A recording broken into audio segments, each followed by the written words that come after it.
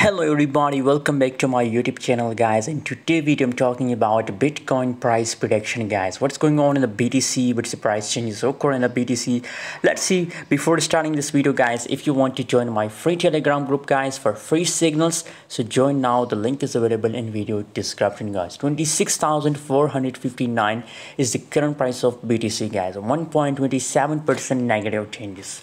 You know, uh, recently it's pumped a little bit, but after a short pump again the market market dump very badly as 26,000 the current price of Bitcoin. It's the last 24 hour price chart and price update guys.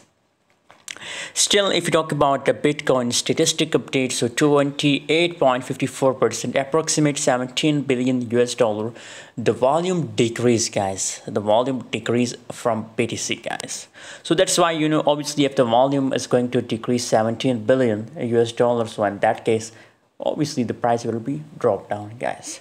So what should we do in a right now situation? Because the right now situation guys it's completely under dip level. So uh, we can expect a little bit pump in a bitcoin up to 27200 27400 that is my prediction for btc guys. By the way what is your opinion about btc please share in the comment box. And guys don't forget to subscribe channel for more updates